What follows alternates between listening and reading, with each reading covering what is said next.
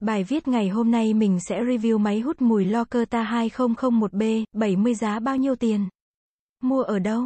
Có tốt không? Xem hết video này để rõ hơn nhé.